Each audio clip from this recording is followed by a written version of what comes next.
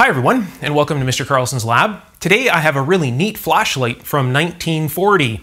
So it's a World War II flashlight that doesn't require batteries. So this thing lights up without batteries. Pretty neat little device. Today we're gonna take it apart, look inside, and see what makes this thing work. Let's get started. These flashlights were intended for soldiers in the field and the like, places where batteries were not available at all, really. So you are the power source for this thing. So there's a little lock here, and that releases the lever that spins up the little dynamo inside, or generator if you like. And on the front here is a little lens. Lens comes off. And there is no bulb, so I'm gonna have to go digging through my bulbs and see if I can find something for this. And hopefully the dynamo works. We're gonna discover this together. So I carved up a little screwdriver and made sure it fit. And it does fit in this. So I just took one of my old junk screwdrivers and filed the center out of it. And it looks like a an early type security bit, but it's uh, these are quite different screws. So that fits in there just right. So now that I've got a screwdriver that works with this, I can now open it. It looks like some people over time have been inside this thing and marred the screws up. So this fits really, really nice. So I won't damage the screws any further. Looks like they was probably opened with a pair of you know, needle nose pliers or something like that. So that fits in there very positive. And um, yeah, it won't cause any further damage to these screws. I've been humming and hawing about actually restoring this, you know, stripping the case and repainting it the kind of drab olive green type of color just to bring it back, but it does have a certain kind of class to the patina that is on this. It really shows that it has been used. So you can let me know in the comments below, do you think I should actually go ahead and restore this thing, repaint it, make it look like brand new again? And uh, I may just do that right here on this channel and share that process with you. I'd probably you know clean the case up really good and do all of that. So again, undecided. So now I removed the screws on this side. You can see the lever runs down into this side here.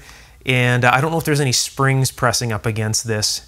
So that's the reason that I went towards the uh, side that has basically all the paint worn right off of it. So let's see what happens. It is opening. And there's nothing pressing up against this, so I'm good.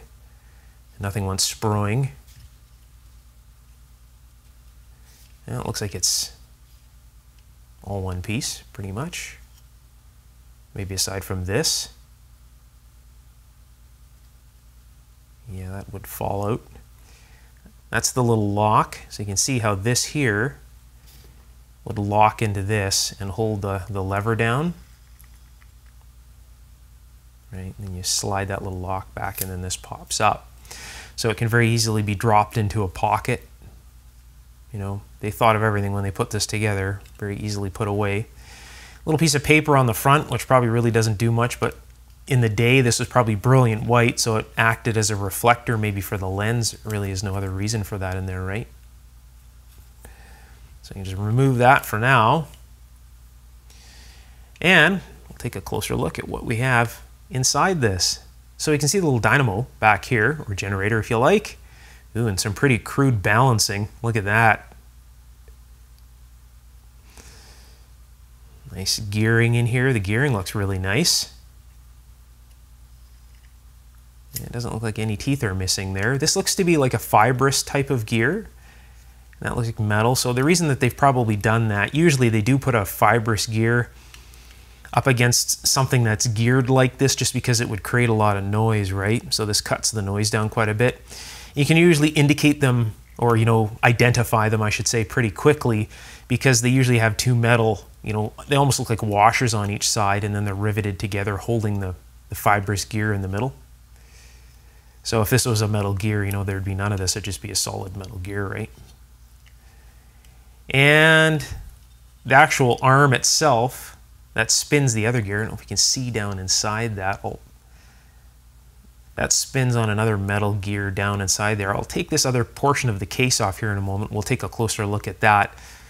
I can see a really heavy spring back here, but it looks like it's up against the actual, the framework here of the generator itself, whole gearing mechanism. So I don't think this is going to go, see it is relatively loose now with the case off and it's not really, there's nothing springy really pushing on it. So I think we can get away with opening that up.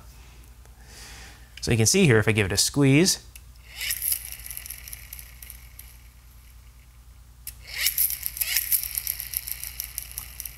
and that little dynamo spins and powers up a bulb in the front here.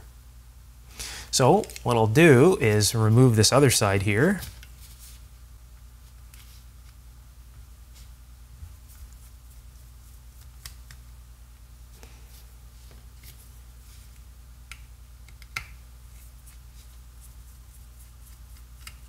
Nice short little screws here. It's nice that all the original screws are there and it, what looks to be the original lens as well. But it's pretty loose. That lens is almost wanting to fall off. So I'll have to take a closer look at that here in just a moment. So yeah, it just comes off. Look at that. So you can completely remove the case and we can see what's going on in there. So we have this is metal here and a nice metal gear down there.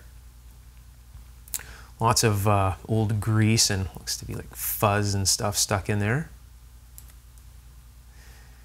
You can see the little dynamo here. One lead comes out and solders to the case. The other one runs right over to the bulb, to the center connection of the bulb, and that would be insulated from this with these little, again, fibrous type washers so it doesn't short to the case. So I'll see if I can pinch this without it pinching me.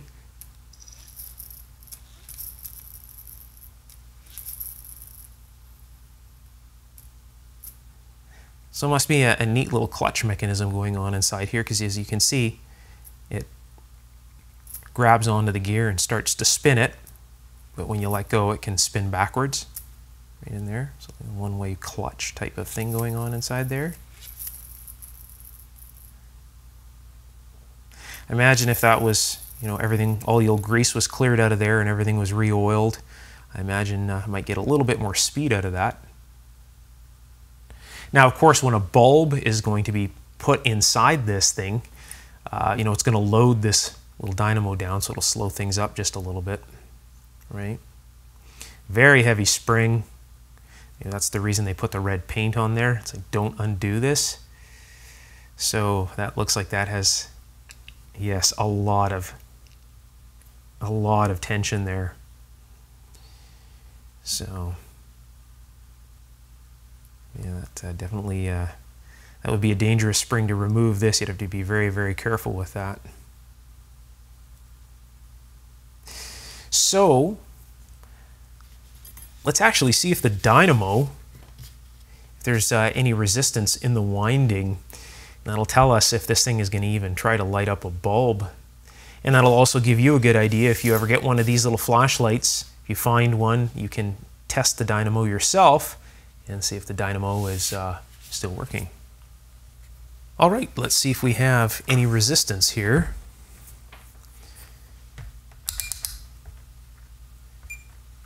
Hopefully that's somewhat viewable. Looks like it's okay. Get that into focus there. So we need to measure from case two, one of these little rivets would be okay because that's isolated from the case with a little fibrous washer. So technically if I touch one of these little, little washers on the top here, that's the same as the connection in the center down in there. So uh, I'll find a place on the case to stick one portion of the probe and touch here. And the resistance reading is 10 ohms. All right, probably get a better connection maybe over here.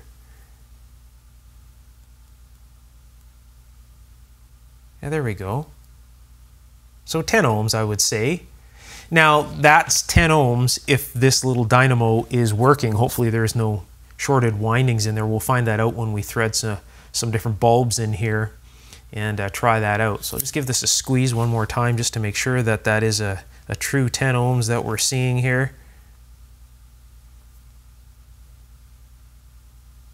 Yeah, no problems. That's really almost spot on 10 ohms. So there you have it. So again, if uh, I screw a bulb in here and we can get some light out of it, and uh, that would be the resistance reading for the windings inside this. All right, I'll go grab a, a bunch of bulbs and see if we can uh, make some light out of this thing. There was some information on the bottom of this, on the uh, part of the case that still has some paint on it. So I'll zoom into this. So it says 2 volts. You can see that 2 volts at 0.1 amps. So that would be 100 milliamps. So 2 volts, 100 milliamp bulb.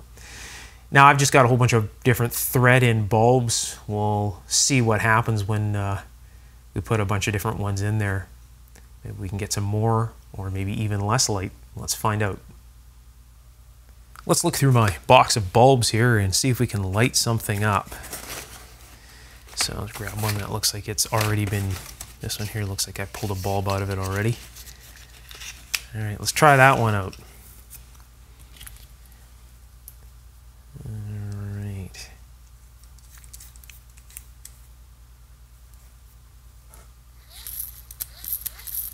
Well, it's lighting it up. You see that? Be careful with my fingers here. See that? So it's lighting it up. Well, that's a, a good thing. Let's take a look at what the specs on the bulb are.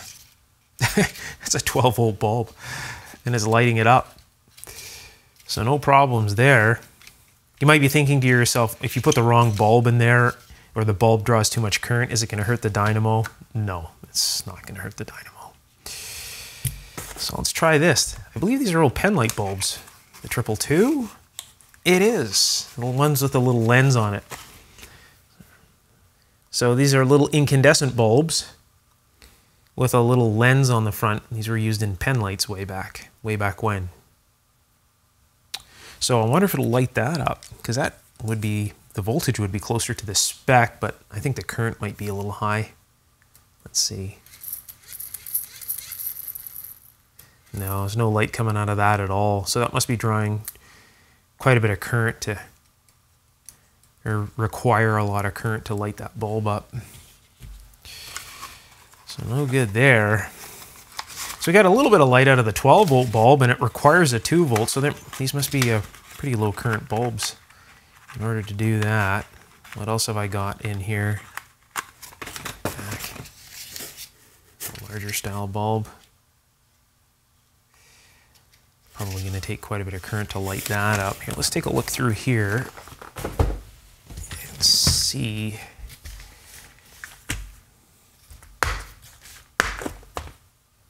Let's get this out of the way over here.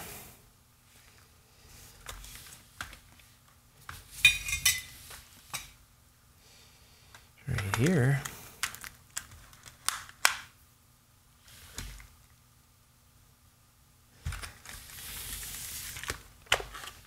Let's see what we got. This one.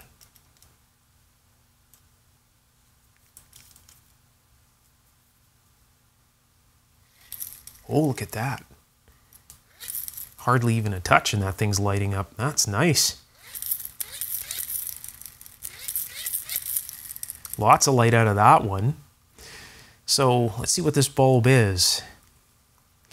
I imagine finding the original bulbs for this would be somewhat difficult.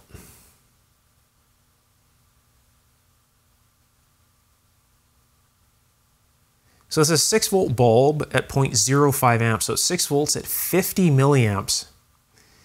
And it's a Philips bulb. Well, that's the reason it works. It's a Philips bulb and a little Philips flashlight. There we have it. What is it? What's the number of the bulb? Looks like 7121D. Hopefully that's right. So this lights up very nicely in here. I would say that is a very good substitute for whatever the original bulb is.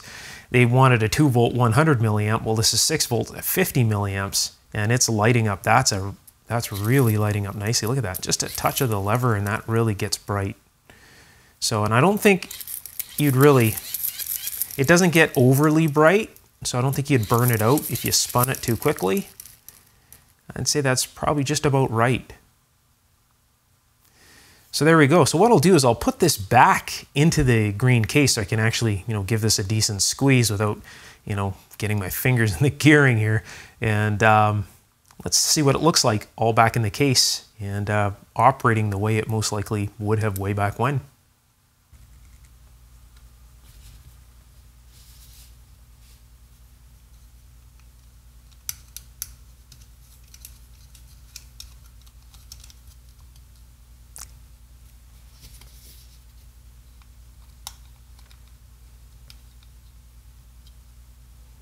Looks like the lens, I think there's a little piece broken off of the lens here.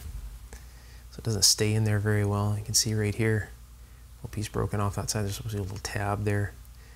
So I could probably glue a little piece of a nylon tie strap and cut a little square off there and that would probably work just fine on the lens. But it does wedge tight, so See that there? It does wedge tight, so it holds it. All right. Look at that. That's really bright.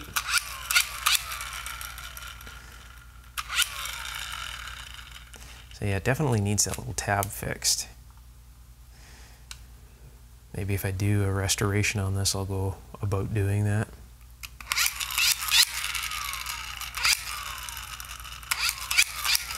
So that would be the only downfall with this thing, of course, is you would need to keep moving this, but it doesn't need to be moved very fast to get a lot of light out of it. So.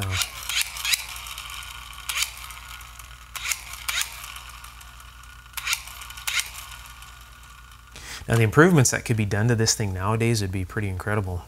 If I was to install a, an LED in here and a capacitor, maybe even a, a small regulator of sorts, you know, one pull of this, you know, your one press of this little um, lever might, you know, give quite a bit of time on an LED before it actually starts to dim out.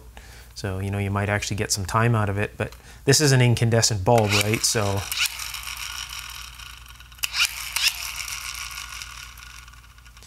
But I don't think I would want to modify this just because this is so original and it's all complete. All the, even all the original screws and what looks to be the original lens is even there. So uh, this might make just a, a, very nice restoration. Or again, you know, just leave it original with the patina on it. So be very interesting. I wish this thing could talk. It would be very, very interesting to listen to the history that this thing could tell. Neat little device, that's for sure. 1940s. If you enjoyed this video, you can let me know by giving me a big thumbs up and hang around. There'll be more videos like this coming in the near future. We'll be doing restorations, repairs, teardowns, all of that great stuff on this channel. So don't forget to subscribe and tap that bell symbol if you'd like to be notified as soon as I post a brand new video. If you're interested in taking your electronics knowledge to the next level and learning electronics in a very different and a very effective way and gain access to my inventions, definitely check out my ongoing electronics course on Patreon. I'll put the link just below the video's description under the Show More tab, and I'll pin the link at the top of the comment section. So if you click on that link, it'll take you right there. You can check it out. All right, until next time, take care. Bye for now.